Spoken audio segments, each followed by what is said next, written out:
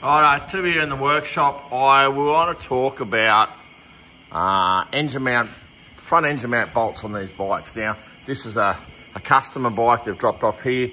He has gone, he bought it second hand and he's going to fit crash bars and he was pulling the bolt out and you can see here, focus, that the bolt has pulled the thread out with it. Now, the other thing I found here is inside here on the right hand side, there is an adjuster. Now, I don't know, you can probably see just the, the lines inside there. You can see the, right, that actually spins around. So I put my finger in that, I can turn that. And what that does is it fills that gap in there. See, there's a gap there.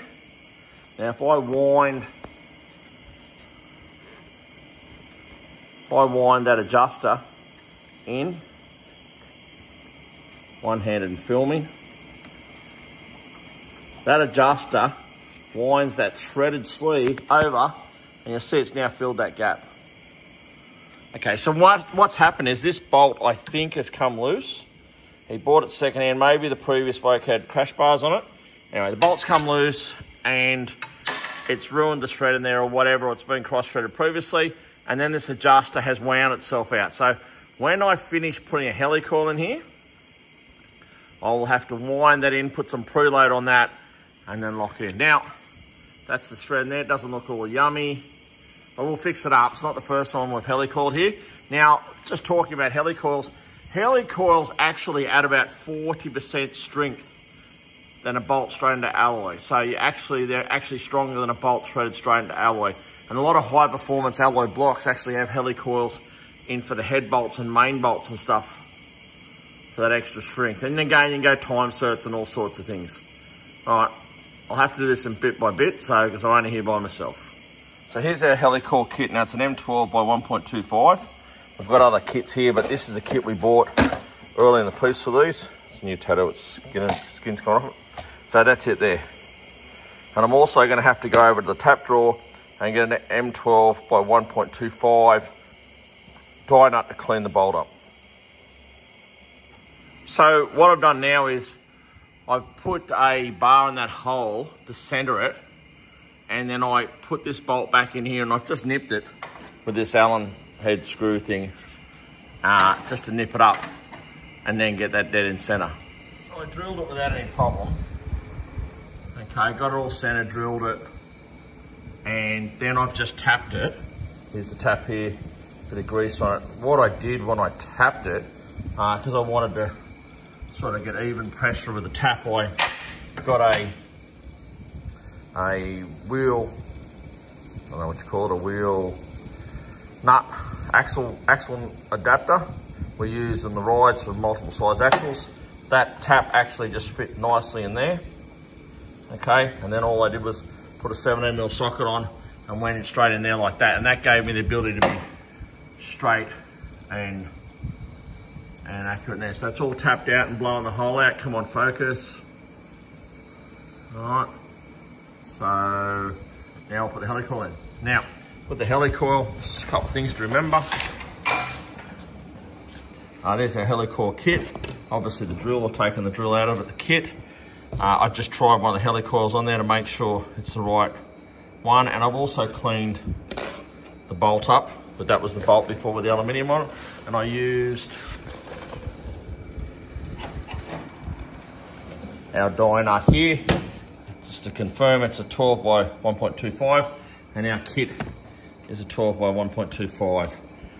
So, what I'm gonna do now is I'll get a helicoil, and I'll wind this helicoil in with this kit. I'll adjust this, this sleeve here to sit on the end of this, so when it comes in like that, sorry, when it comes, so I'll sit about like that, and that, I'll adjust this up, this collar up to be against there, and I'll wind it in until the end of it is this, this, this end here is just past flush of the hole.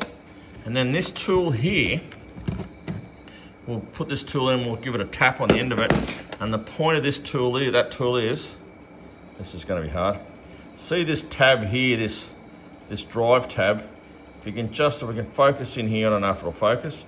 You can see a little, a little nick in it there. When we tap that in, that in through the hole. God, this is hard one-handed. So imagine that's in the hole. We'll tap it in, and then when we tap the end of that, it'll break that tab off. And then we'll get a magnet pull it, or put along those pliers, sorry, because it probably isn't magnetic, and we'll tap it out. Thanks, compressor. Okay, so we can see in there that we've got our helicoil almost. We need probably another half turn. You can just see the tip of it there. Once we get that half turn in, we can wind that collar, which is that washer bit that's in there, we can wind that collar out.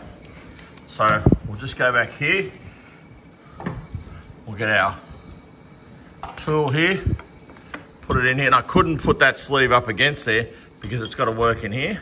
So we're getting just another half turn or so. All right, we'll double check that we are behind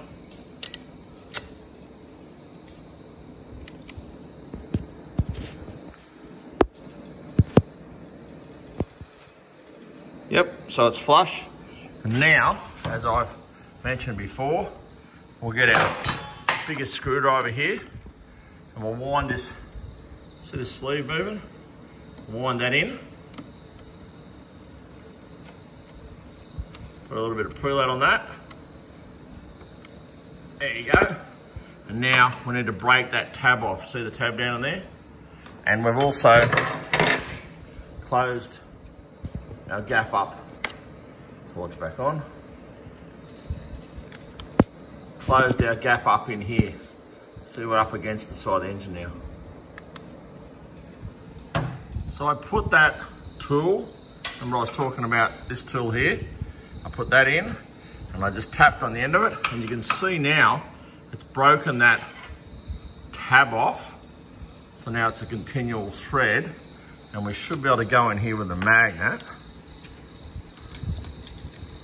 and pull that piece out. Bingo. Righto, so we've never seized up our bolt, a little bit of grease. And if all, and we've got our stepped washer, which sits in this step area here. all is well in the world, this should, by all rights, wind in with your fingers. Look at that. That's in flush. We'll go over here to our tension wrench. We'll look up our we'll look up our tension, which I can't remember off the top of my head. Uh, but I'll look that up and then yeah, we'll, uh, we'll tension it off. Righto, so we've never seized up, we've got it in, we wound it in, it's finger tight. We've got our tension, we just rang Lincoln up. We've got a manual there, but it's on the phone. Anyway, Lincoln knows all that sort of stuff, and he double checked it. So it's 55 foot pound. So we'll see if it's going to take tension, which it should.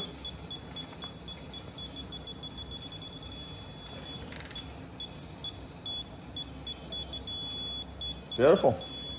There you go. Good repair.